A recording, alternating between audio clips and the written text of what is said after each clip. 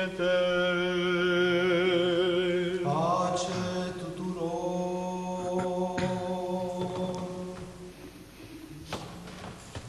și Duhului Tău,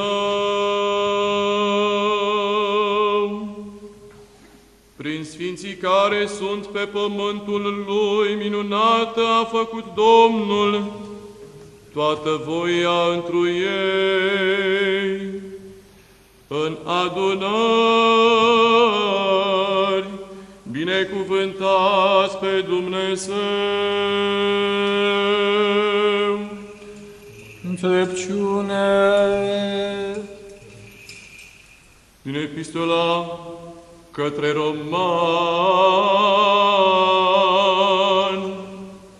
a Sfântului Apostol Pavel, citire.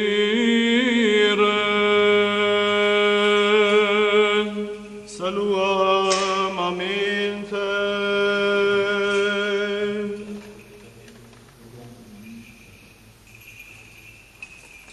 Fraților, știm că Dumnezeu toate le lucrează spre binele celor ce-L iubesc, celor care sunt chemați după voia Lui. Căci pe cei pe care i-a cunoscut mai înainte, pe aceea mai înainte ea și hotărât să fie asemenea chipului Fiului Său, ca El să fie întâi născut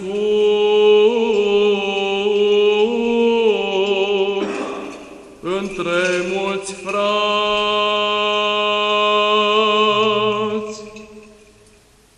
iar pe care i-a hotărât mai înainte, pe aceea i-a și chemat, și pe care i-a chemat, pe aceea i-a și îndreptat, iar pe care i-a îndreptat, pe aceea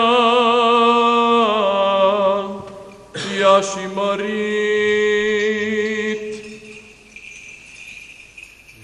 Ce vom zice deci la acestea? Dacă Dumnezeu e pentru noi, cine este împotriva noastră? Când El însuși pe Fiul Său nu l-a cruțat, ci l-a dat morții pentru noi toți, cum nu ne va da oare toate împreună cu El? Cine va ridica pâră împotriva aleșilor lui Dumnezeu? Dumnezeu este Cel ce îndreptează. Cine va osândi? Oare Hristos? Dar Hristos, Cel ce a murit și mai ales Cel ce a înviat, care și este de-a dreapta lui Dumnezeu, El mijlocește pentru noi.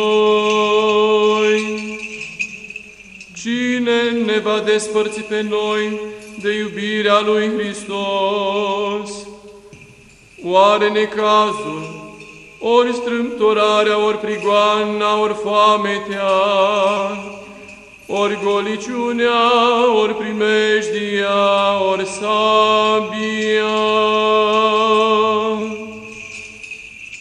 Căci precum este scris, pentru tine suntem omorâți toată ziua, socotit un neam ca niște oi de junghiere, și în toate acestea suntem mai mult decât biruitori prin acela care ne-a iubit, pentru că sunt încredințat că nici moartea, nici viața,